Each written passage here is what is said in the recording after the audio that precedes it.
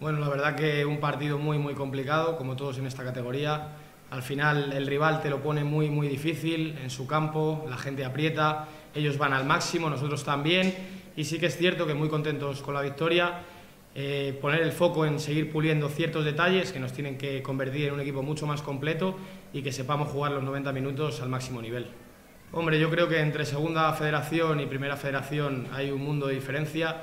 En cuanto a los estadios, en cuanto a los campos, a los rivales, es todo mucho más complicado.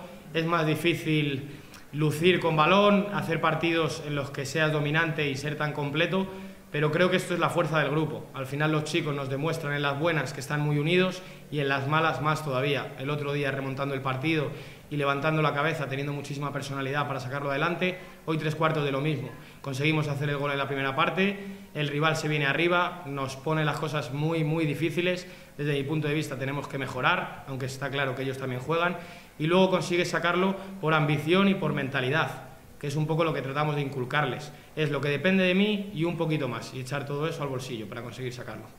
Pues yo creo que simplemente hay que darle las gracias, las gracias en mayúsculas, porque que a estas alturas sigan apoyándonos es de agradecer enormemente y solamente animarles a que sigan viniendo porque nosotros trabajamos con un único objetivo, que es darles alegrías a ellos, que se sientan representados y que se sientan orgullosos. Es lo mismo que le decimos a los jugadores. Hay que salir de los partidos orgullosos, sin poder reprocharnos nada. Pues con la afición tres cuartos de lo mismo, darles las gracias, de verdad.